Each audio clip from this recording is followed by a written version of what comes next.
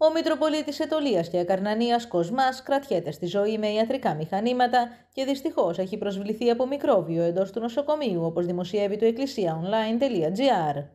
Οι θεράποντες ιατροί υποστηρίζουν πως η κατάσταση είναι εξαιρετικά κρίσιμη. Ο Μητροπολίτης Ετωλίας βρέθηκε θετικός στον κορονοϊό στις 18 Νοεμβρίου, παραμένοντας αρχικά στην οικία του. Στη συνέχεια, η κατάσταση της υγείας του επιδεινώθηκε και κρίθηκε απαραίτητη η μεταφορά του σε νοσοκομείο, κάτι το οποίο ο ίδιος αρνείτο. Τελικά αποφάσισε να εισαχθεί στο νοσοκομείο του Αγρινίου, όπου και διασωληνώθηκε και στις 2 Δεκεμβρίου μεταφέρθηκε στο νοσοκομείο Ευαγγελισμός. Υπενθυμίζεται πως η αδελφή του κυρίου Κοσμά, η οποία επίσης είχε προσβληθεί από κορονοϊό, ήταν ανεμβολίαστη και έφυγε από τη ζωή στις 13 Δεκεμβρίου. Η 75χρονη γυναίκα είχε μεταφερθεί στις 2 Δεκεμβρίου στο νοσοκομείο του Αγρινίου μια μέρα μετά τον αδελφό της. Ήταν ανεμβολίαστη και με σοβαρά υποκείμενα νοσήματα και διέμενε μαζί με το σεβασμιότατο στην οικία του στο Αγρίνιο.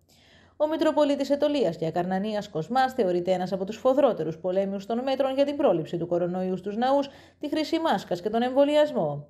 Μάλιστα το Σεπτέμβριο του 2020 είχε προκαλέσει το Πανελλήνιο όταν κατά τη διάρκεια τη Θεία Λειτουργίας της 8 Σεπτεμβρίου, ημέρα των γενεθλίων της Θεοτόκου, είχε πει: Δεν αφήνει ο Θεός ανθρωπέ μου μέσα στον ναό να μολυνθείς. Δεν μολύνει ο Θεός, ας το καταλάβουμε.